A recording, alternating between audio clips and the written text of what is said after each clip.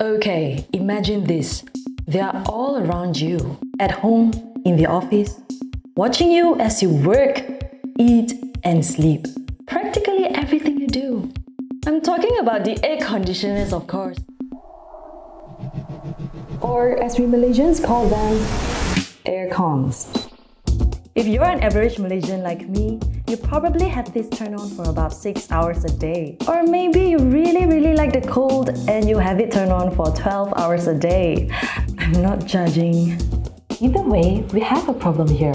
You see, air conditioners are actually not so cool for the environment. This is mainly due to this thing over here, the compressor. Each time you turn on your air conditioner, you feel cool indoors, but outdoors, this blows out hot dry air. Really hot air. It gets even worse in urban buildings where you see many compressors placed close to each other, circulating the hot air around the same area.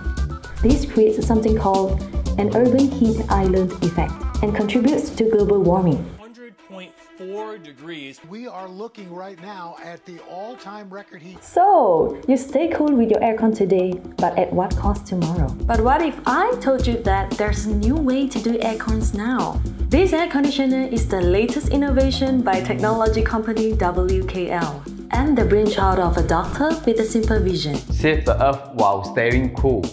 It's called Evo Air and it's unlike any other air conditioner we have right now. I've told you that normal aircon compressors emit hot air. What Evo Air does differently is that its compressor unit actually releases cool and humid air of around 26 to 28 degrees Celsius. So it can even double up as a separate air cooler to place on your front porch or balcony, where you can chill out with it.